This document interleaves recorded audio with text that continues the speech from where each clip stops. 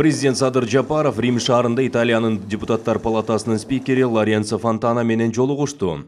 Парламенттер аралык дипломатияны бекемдөө ошондой эле эки тараптуу регионалдык жана эл аралык күн актуалдуу темалары боюнча пикир алмашуу болду. Спикер Лоренцо Фонтана мамлекет башчысынын жылуу тосуп алып, Садыр Жапаровдун Италияга жасаган достук сапары эки өлкө ортосундагы мамилелердин мындан аркы өнүгүшүнө жана тереңдешине жаңы дем берерин баса белгиледи. Ал ошондой эле президент Садыр Жапаровдун бизнес өкүлдөрү менен боло турган жолугушуу өз ара пайдалуу жана кызыктуу болоруна ишенимин билдирди. Лоренцо фонтана италиялык ишкерлер жигердүү инвестиция салып эл аралык рыноктарда иштөөнү артык көрөрүн айта кетти. Сүйлөшүүнүн жүрүшүндө садыр жапаров кыргызстандын саясий жетекчилиги италия менен эки тараптуу мамилелердин бүтүндөй комплексин өнүктүрүүгө даяр экенин ырастады ал эки миң жыйырманчы жылы дал ушул максатта италияда кыргызстандын элчилигин ачуу тууралуу чечим кабыл алганын ал бүгүн эки өлкө ортосундагы кызматташтыкты өнүктүрүү үстүндө иштеп жатканын эске салды. Мамлекет башчысы кыргызстан борбор азия регионунда парламенттик башкаруу формасында тажрыйбасы бар жалгыз өлкө экенин айта кетти